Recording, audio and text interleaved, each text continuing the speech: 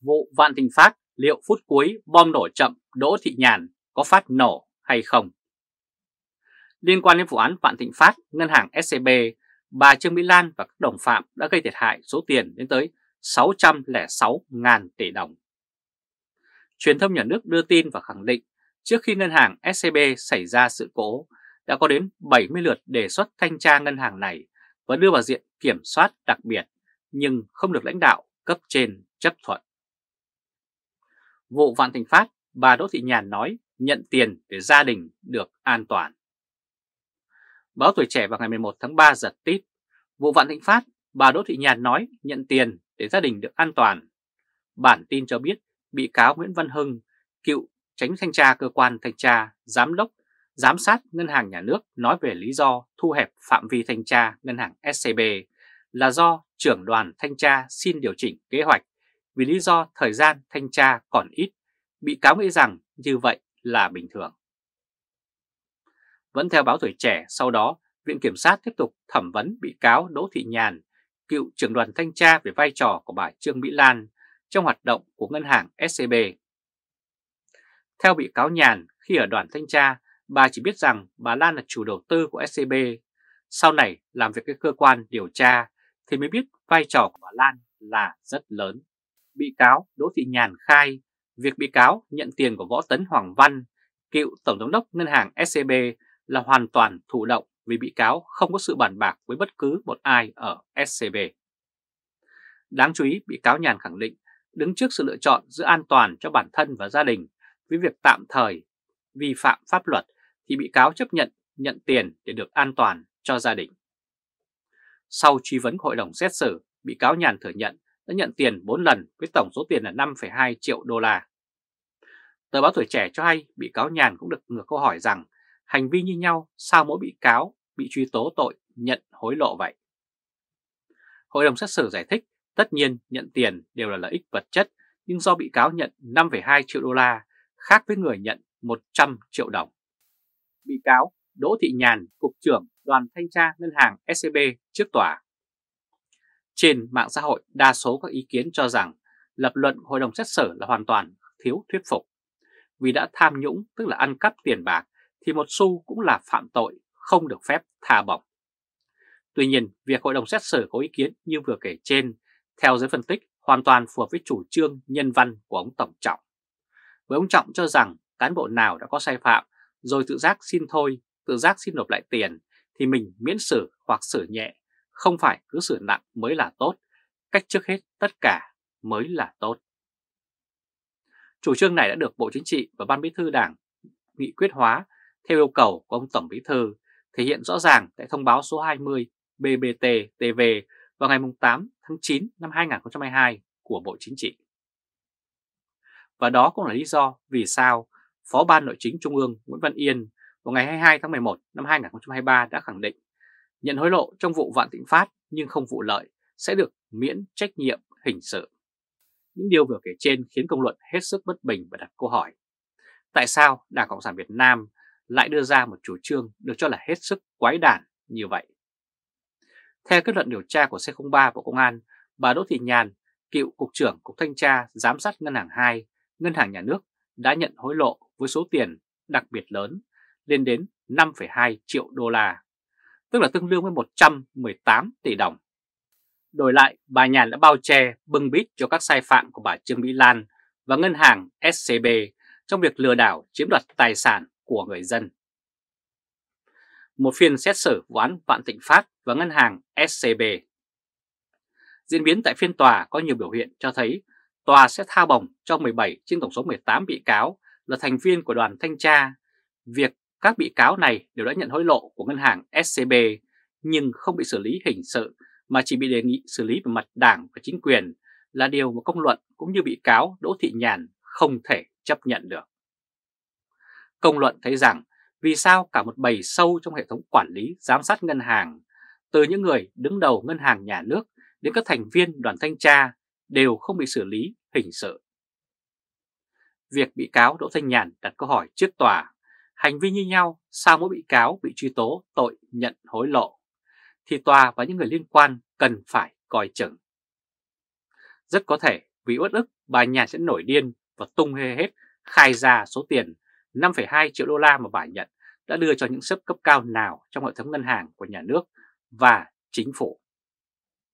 Chúng ta hãy cùng chờ xem quả bom nổ chậm mang tên Đỗ Thị Nhàn có phát nổ vào những ngày tới hay không. Biết đâu lúc đó mới là sự khởi đầu của đại án mang tên Vạn Thịnh Phát. Quý vị và các bạn vừa theo dõi chương trình truyền hình trực tiếp của Thời báo chấm với bản tin ngày hôm nay. Vụ Vạn Thịnh Phát liệu phút cuối bom nổ chậm Đỗ Thị Nhàn có phát nổ hay không? Quý vị và các bạn hãy chia sẻ video này cho nhiều người biết và bấm nút theo dõi YouTube và Facebook của Thời báo chấm để luôn được cập nhật những bản tin mới nhất, nhanh nhất và trung thực nhất. Từ Berlin, Cộng hòa Liên bang Đức chào các bạn và hẹn gặp lại các bạn ở bản tin lần tới. Trung Khoa Thời báo chấm đề. Cao tốc giảm, Bộ trưởng Nguyễn Văn Thắng và nhóm lợi ích bao giờ mới tha mạng cho dân. Vào ngày 18 tháng 2, một vụ tai nạn trên tuyến cao tốc Cam Lộ – La Sơn đã khiến 3 người tử vong và nhiều người khác bị thương. Trước đó, giới chuyên gia đã nhiều lần cảnh báo về thiết kế đối với tuyến cao tốc này cho rằng không đảm bảo an toàn. Tờ báo Dân chí vào ngày 10 tháng 3 đưa tin tai nạn trên cao tốc Cam Lộ – La Sơn, hai người chết, 7 người bị thương. Bản tin cho biết một vụ tai nạn xảy ra rất nghiêm trọng nữa vừa xảy ra trên tuyến cao tốc này thuộc địa phận xã Phong Sơn, huyện Phong Điền, tỉnh Thừa Thiên Huế làm hai người chết. Lại tai nạn thảm khốc trên cao tốc Cam Lộ La Sơn.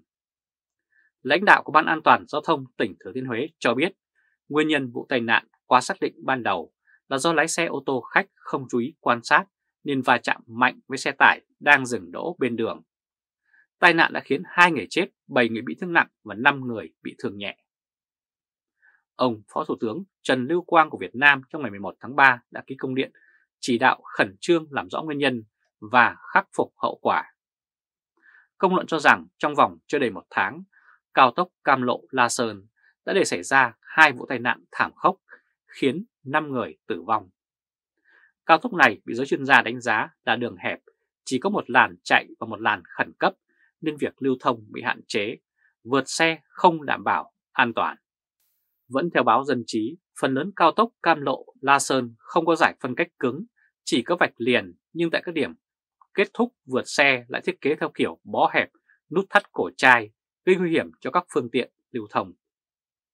Theo giới chuyên gia, nếu căn cứ vào thông tin quy định tiêu chuẩn thiết kế đường cao tốc, rõ ràng tuyến đường này hoàn toàn không đáp ứng tiêu chuẩn của Việt Nam, chứ đừng nói gì đến tiêu chuẩn quốc tế.